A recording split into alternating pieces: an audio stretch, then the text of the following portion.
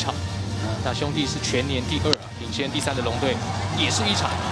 许继荣来了精彩，再抛给补位的吴哲源，来得及刺杀掉了打击的李凯威，结束了三局下半龙队的攻势。